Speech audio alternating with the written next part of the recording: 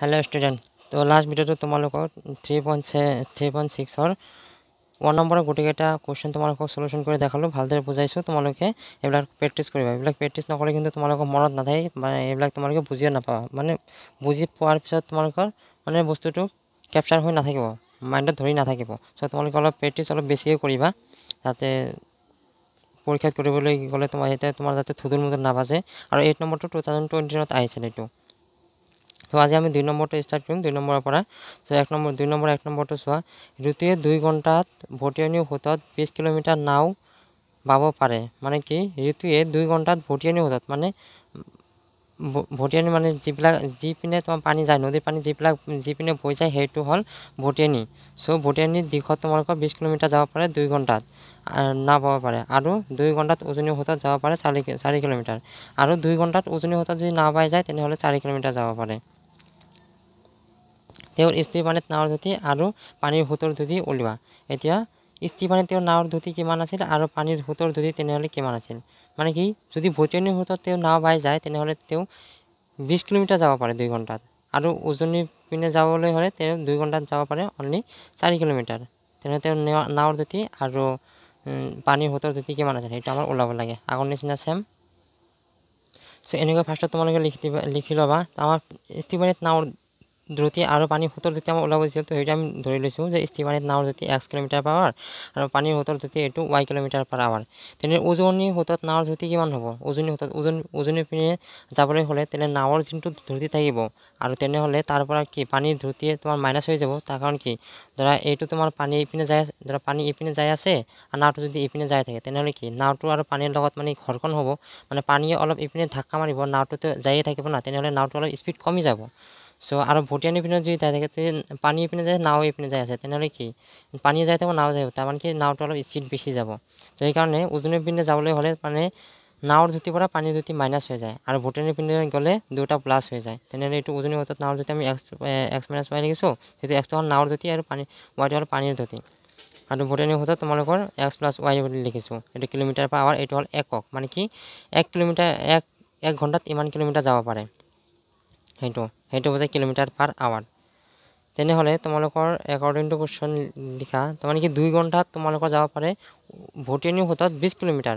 তেনেহ'লে ভটিয়নী কি সোঁতত বিছ কিলোমিটাৰ এটা ফৰ্মুলা আছিল সময় ইকুৱেল মানে কি টাইম ইকুৱেল দূৰত্ব বাই ধ্ৰুতি দূৰত্ব বাই ধ্ৰুতি দূৰত্ব মানে কি? ডিষ্টেঞ্চ বাই ধ্ৰুতি হ'ল ভি ভেলচিটি তাৰমানে কি? এই এইটো ফৰ্মুলাত আমি লিখিম তেনেহ'লে সময় আমাৰ কিমান আছিল? চ' এইটো তোমালোকে এনেকৈও লিখিব পাৰা।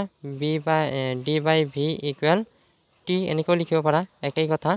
তেনেদৰে ডি ডি মানে কি? দূৰত্ব আছিল তেনে দূৰত্ব আছিল বিছ কিলোমিটাৰ।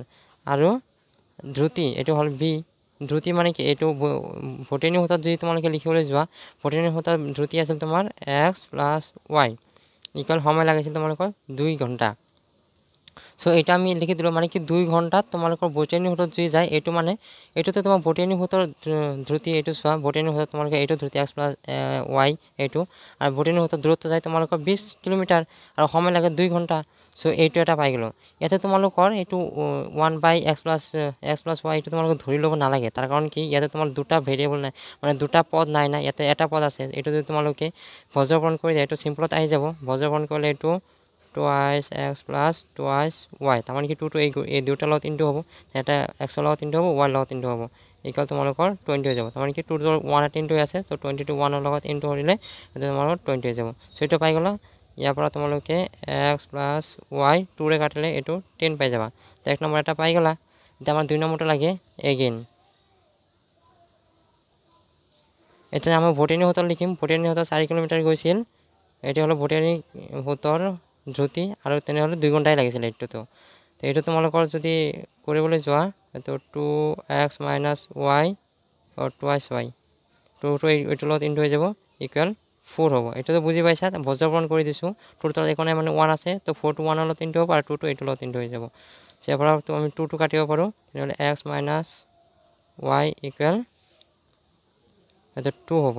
এইটো দুই নম্বৰ। এইটো ছয় এক নম্বৰৰ পদ আৰু দুই নম্বৰ পদ অলপ ছেম আছে। তো তোমালোকে ডাইৰেক্ট মাইনাছ কৰি দিব পাৰা। So' one minus two equal কৰিলে তোমাৰ X plus Y minus X minus Y এইখিনি কৰিলে তোমাৰ টেন মাইনাছ টু আহি যাব।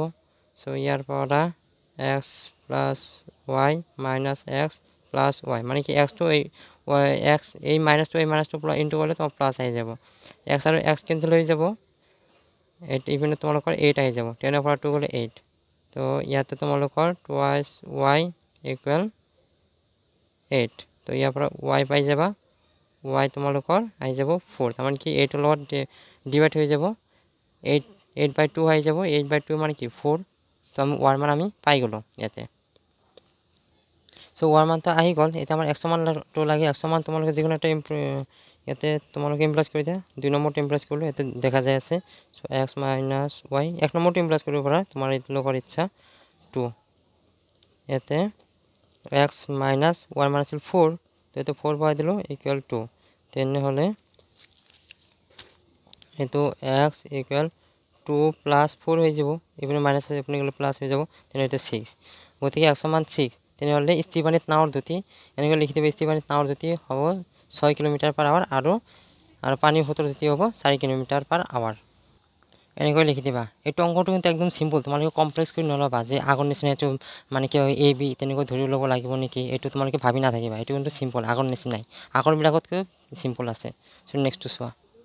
তোমালোকে কিন্তু এক নম্বৰৰ গোটেইকেইটা ভালদৰে শিকি ল'বা দেই তোমালোকক কৈছোঁ। তাৰ কাৰণ কি তাৰ পৰা আৰু দুই নম্বৰে কিবা কিবি এইবিলাক বনাই দিয়া মানে অপশ্যনেল থাকে। তেনেহ'লে কি তোমালোকৰ যিটো ডাইৰেক্ট অংকটো বনাই দিয়া থাকে সেইটো তোমালোকে কৰিবা।